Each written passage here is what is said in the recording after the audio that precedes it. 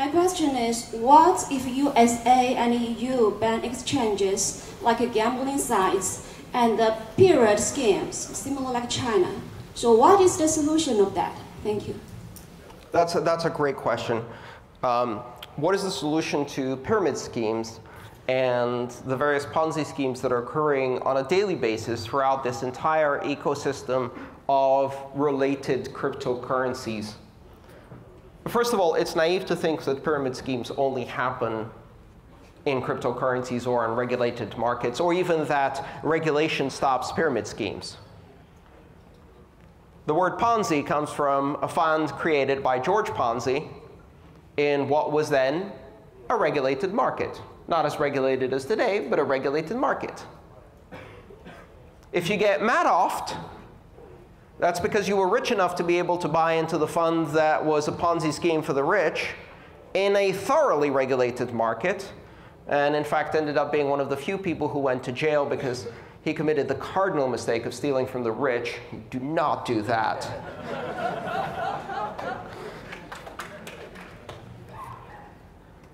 you can defraud a million people out of their mortgages, but do not steal from the rich, because then you might actually end up in jail. Probably a very nice jail. You know, not the kind of jail that you'd send someone for smoking a joint.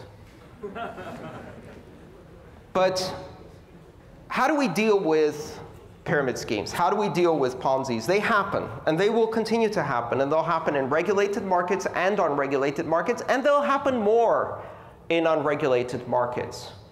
And the reason they happen more in unregulated markets is not because the regulators are stopping Ponzi schemes, but because they're restricting access to entrance on both sides of the market enough that it's very difficult to generate the type of liquidity needed for Ponzi schemes. I mean, you can list Herbalife on the stock exchanges. No one's touching that. But if you can appeal to a worldwide audience of investors, then you can really accelerate your pyramid scheme, right? And as a result, that's exactly what's happening. There's only one way to stop investors from making stupid mistakes. They have to first make stupid mistakes and lose money and be more cautious and make more stupid mistakes and lose money and be more cautious. You cannot teach someone who is making a return they've never seen in their life that the reason they're making a return that they've never seen in their life from a website that says guaranteed profits 10% a week is because they're sitting on the upper levels of a pyramid that will surely, at some point, collapse, leaving 90% of the people with nothing. You cannot convince them. How do I know this? Because I try every day. If I call out a scam on Twitter, I am hailed as a hero. No, I'm not. I get viciously attacked by every participant in that pyramid scheme. How dare you side with the banks? I thought you were one of the good guys. How dare you call insert latest Ponzi here, a scam. People used to say Bitcoin is a scam. When did you start taking money from the banks? People are extremely resistant to learn that lesson. And they will not learn it if you tell them what the lesson is. They will only learn it experientially. Experiential learning. It's the latest in education. And the way that works with investors is they have to lose money. Why is it that Americans are less susceptible, for example, to pyramid schemes than your average Chinese investor? Be careful how you answer that question. Uh, The reason is really simple. It's because Americans have been investing in pyramid schemes since the early 1900s. And they get burned again and again and again. And this lesson starts getting passed down generationally.